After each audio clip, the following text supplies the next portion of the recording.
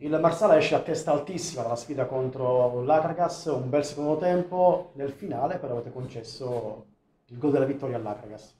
Certo, è stata una partita equilibrata, una bella partita, abbiamo giocato a viso aperto entrambe le, sca- le, le squadre, ovviamente in queste categorie un minimo errore costa caro, eh, comunque un'ora all'Akragas, ma ne usciamo a testa alta e ripartiamo martedì per pensare alla prossima partita.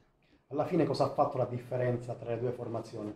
Innanzitutto noi fisicamente di settimana in settimana stiamo migliorando, come ben noto siamo, ripart- siamo partiti in ritardo con la preparazione atletica, però stiamo assimilando perfettamente quello che ci chiede il mister, mister Tortora, e siamo tutti con lui ovviamente. Questo è molto importante perché noi tutte, tutte le squadre l'allenatore viene seguito, quindi nulla, eh, dobbiamo solo lavorare, lavorare e i risultati arriveranno col tempo. È ancora presto per dirlo, ma dove può arrivare questo Marsala?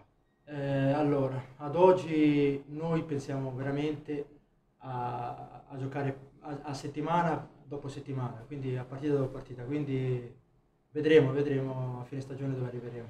Presidente, quanto brucia questa sconfitta? Eh, brucia, brucia tantissimo, c'è tanta amarezza anche perché è una sconfitta che non meritavamo però faccio i miei complimenti all'Agragas per la vittoria e per, per averci ospitato nel migliore dei modi. E do un grosso in bocca al lupo anche al presidente per il suo nuovo percorso. E tutto qui. C'è tanta amarezza per questa sconfitta, ma usciamo a testa alta. Marsala che ha cercato la vittoria fino all'ultimo, esatto. poi la beffa finale. Purtroppo questo è il calcio.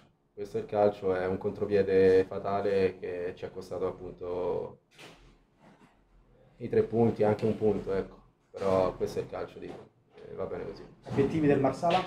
Come ha detto il capitano, guardiamo partita dopo partita e poi a fine anno vedremo dove saremo.